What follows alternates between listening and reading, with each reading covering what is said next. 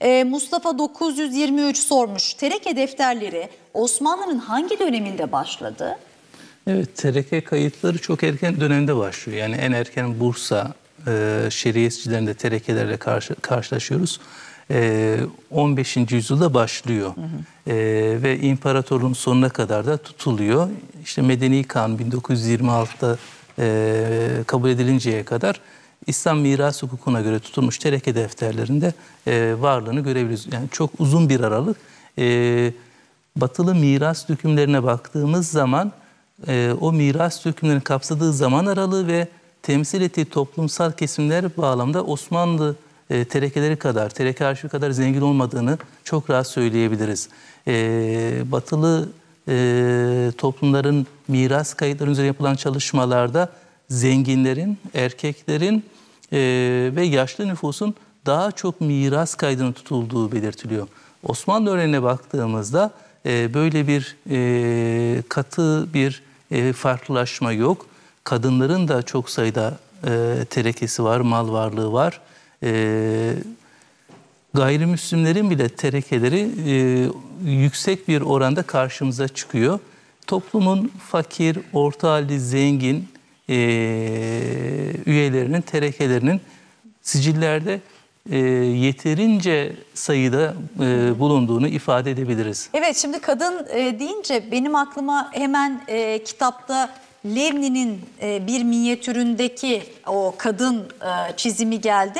Buradan yola çıkarak hem bir seyircimizin sorusuydu onu da e, yöneltmiş olayım. Bu miras konusu ele alındığı zaman hani kadınlara yönelik tereke görüyor muyuz? Evet.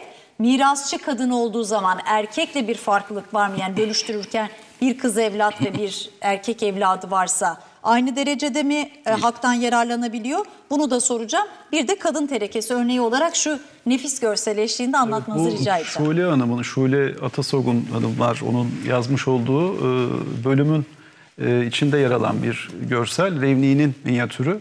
Şimdi e, Şule Hanım'ın tespiti şu. E, ki- kitaptaki makale yazarımız.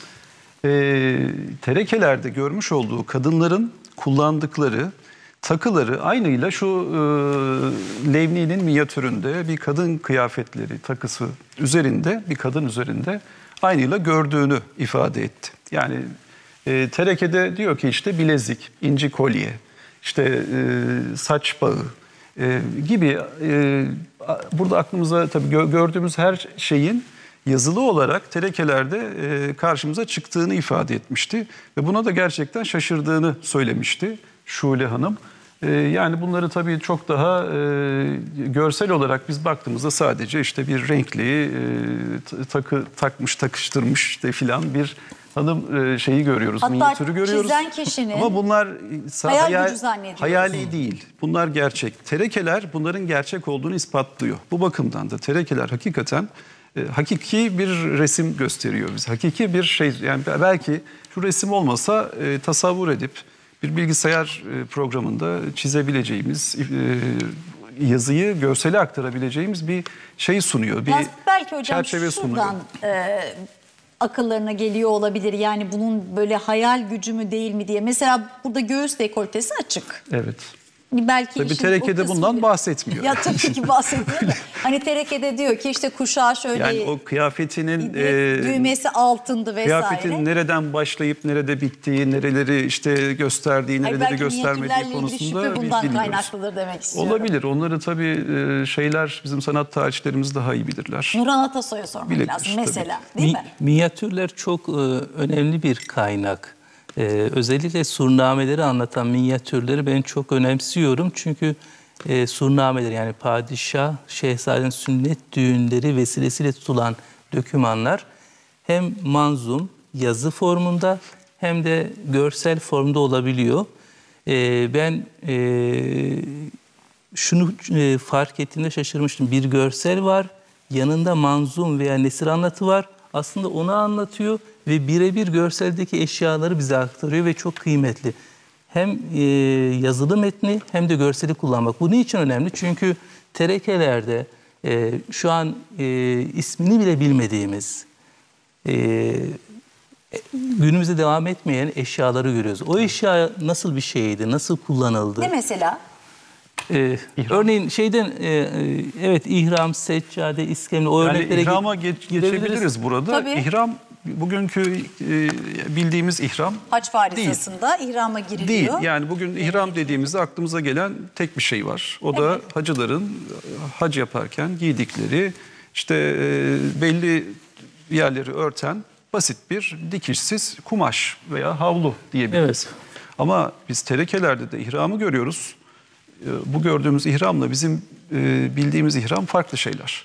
Çoğunlukla ihramlar e, döşemede kullanılan, e, örtü gibi kullanılan, işte mesire yerine giden bayanlar ihramın üzerine oturabiliyor. Kayağa binen yolcular yine ihram serip oturabiliyor. Şimdi hiç Evlerde de kullanılabiliyor. enteresan bu şekilde. Belki adı değişti bilmiyoruz fakat şöyle bir e, şeye düşüyor bazı araştırmacılar. E, yani bu şeyin bu e, kitabın ortaya çıkmasının bir nedenlerinden bir tanesi de buydu. Bu terekelerde geçen kavramlar, kelimeler, e, her ne geçiyorsa işte takı, eşya, kitap isimleri vesaire. Bunlara dair bir metot geliştirebilir miyiz? Bunlara dair bir takım sorular sorup cevap üretebilir miyiz? Cevap bulabilir miyiz? Bu buradan hareketli bu kitap zaten ortaya çıkmıştı.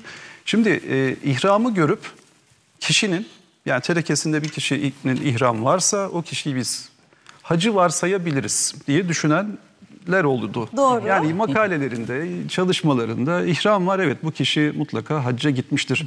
Her ne kadar e, terekesinin girişinde adı anılırken hac, hacı ünvanı yok ama bu kişi mutlak surette hacıdır. Çünkü terekesinde ihram var bu da bize bunun hacı olduğunu gösteriyor diye düşünenler olmuş, yazanlar olmuş. Çoğunlukla, Böyle- çoğunlukla şunu yapıyoruz. Yani bugünün maddi kültürünü, bugünün değer yargılarını, bilgi birikimini geçmişe taşıyoruz.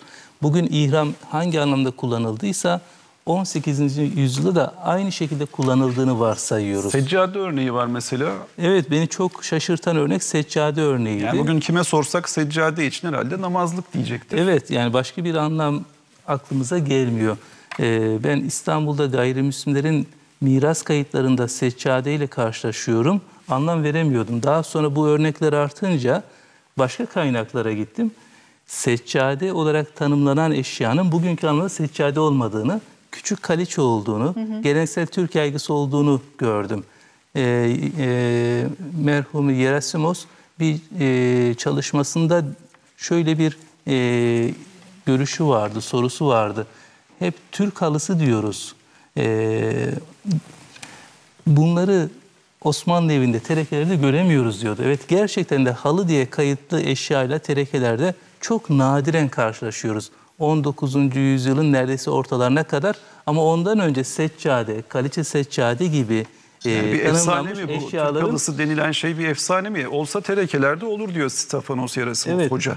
Ee, yani böyle bir soru soruyor. Ama e, o soru anlamlı fakat e, onun e, ihsas ettirdiği yaklaşım e, e, doğru değil.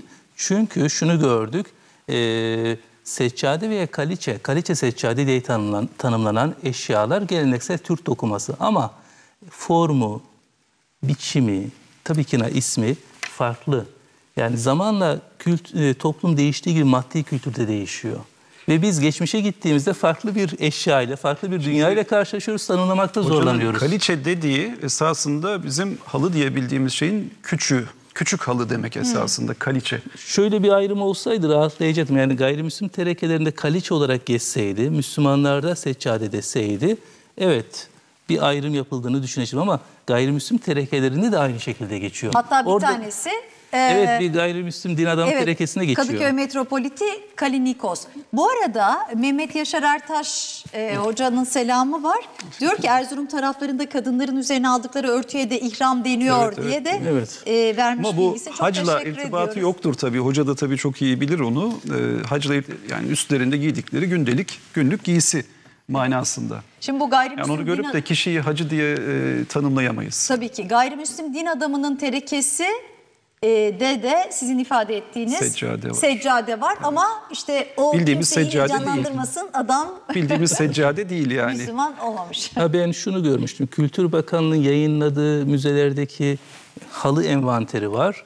Ben tek tek onları hesaplamıştım ebatlarını ve ortalama 2-2,5 metrekare olduğunu görmüştüm. Yani bugünkü halıdan küçük Ama bugünkü namazlık ve seccadenin büyük, Büyük, evet. arada olan bir şey. Muhtemelen geleneksel el tezgahının e, teknolojisi, formu e, büyük halıları çok çıkarmıyordu. Ne zaman ki makine halıları, fabrikalaşma, endüstri devriminin yansımasıyla büyük e, bir odanın zemini tek başına döşe, e, kaplayabilecek, o şekilde döşeyebileceğiniz kebir halılar ortaya çıkıyor. İlk çıktığında da tereke defterlerinin zaten kebir orta halısı gibi. Orta halısı. E, hatta İngiliz gari. Demek ki İngiltere'den geliyor. E, halılarla Endüstri karşılaş- devrimi sonrası olan Evet, makineleşmeyle beraber. Evet. Yani toplumsal değişim birçok e, aşamalardan geçebiliyor. Yani kaliçenin Üretim- çeyesini atıyorlar. Kali kalıyor herhalde. O E, da halı. Türk- Türkçe zaten Şey, küçült- küçültme eki küçültme zaten. eki ama e, geleneksel e, Türk halısı neredeyse 19. yüzyılın ortalarına kadar e, küçük formlardaymış. Biz bugün görsek belki büyük seccade diyeceğimiz formda. E, yani e, değişimin e, tarihçileri, araştırmacıları geçmişe gittiği zaman zorladığı alan maddi kültür alanı.